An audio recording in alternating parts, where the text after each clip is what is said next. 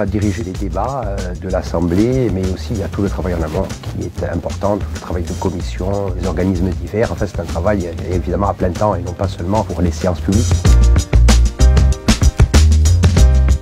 nation simplement parce que euh, les Corses l'ont décidé euh, par euh, leur vote, par la démocratie. En 2015, aux législatives de 2017, les Corses ont voté pour une liste entièrement composée de nationalistes. Sauf à imaginer que les Corses ne sachent, ne sachent pas ce que veut dire le mot nation, eh bien à ce moment-là, il faut admettre qu'ils ont voté pour affirmer que la Corse était une nation ce qui me concerne, je fais partie du courant indépendantiste. Nous avons un accord de mandature avec nos partenaires de FEMAGOUR, qui eux sont autonomistes. Dans les dix ans qui viennent, il n'y aura pas de processus d'indépendance, mais bien entendu, euh, le courant indépendantiste euh, souhaite qu'à l'issue de ces dix ans, dans dix ans, dans 15 ans, les Corses puissent euh, décider d'aller plus loin s'ils le désirent. La Corse est riche de potentialités, elle a été appauvrie par les politiques qui ont été menées. Euh, aujourd'hui, elle n'est pas une région d'Europe prospère comme l'est par exemple la Catalogne, et c'est la raison pour laquelle nous ne sommes pas dans une phase d'accès à l'indépendance, nous ne sommes pas dans cette séquence pour les dix ans qui viennent, euh, mais euh, nous pensons que si notre projet est mené à son terme, dans dix ans, la Corse portera mieux économiquement, socialement, et à ce moment-là, les Corses seront davantage libres de décider de leur sort collectif. On sait très bien qu'un peuple vote pour l'indépendance s'il est assuré d'une stabilité sur le plan matériel. C'est le cas notamment des Catalans, c'est le cas des Écossais. On sait que la question économique est toujours importante dans le vote pour l'indépendance.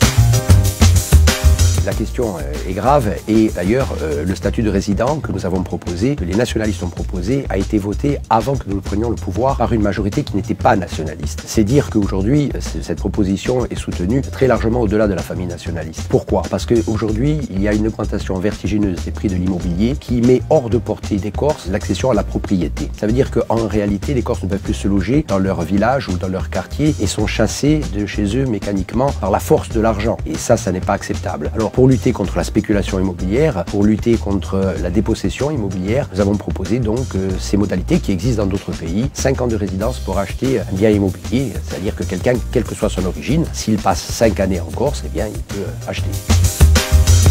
Et ce que j'avais répondu donc, à un de vos confrères qui me posait une, question, bon, je suis indépendantiste, donc ça n'étonne personne, je ne me considère pas comme français, un pays ami, en tout cas, c'est un objectif.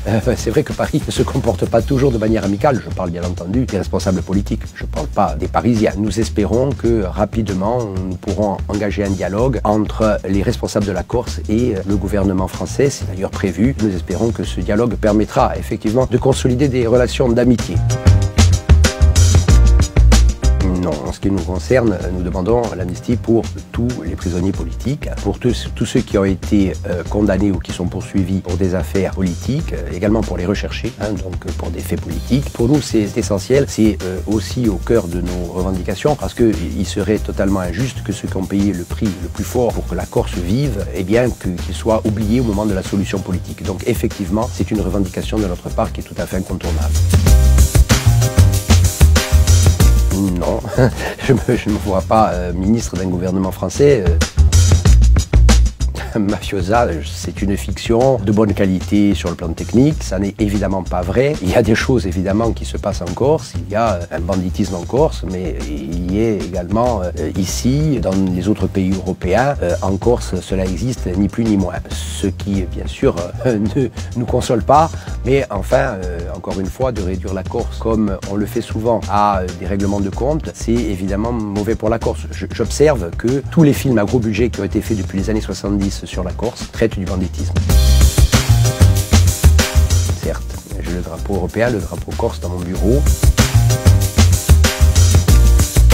Si la Corse est indépendante, il euh, n'y a pas grand-chose qui changera à cet égard, compte tenu du fait que la Corse va rester dans l'Europe. La Corse est profondément engagée, notre majorité territoriale également, par la construction de l'Union européenne. Euh, c'est un engagement politique très fort, même si l'Europe d'ailleurs ne correspond pas forcément, telle qu'elle est faite aujourd'hui, à toutes nos attentes. Nous préférerions une Europe sociale, nous préférerions une Europe des peuples, nous préférerions une Europe moins dominée par le Nord et plus avec un équilibre Nord-Sud l'espère, je l'espère. C'est pour nous une grande fierté d'avoir euh, d'avoir une, équipe nationale corse. Et euh, c'est vrai que notre majorité territoriale est euh, extrêmement attentive hein, au succès, mais également au travail de, de, de la squadre Switch.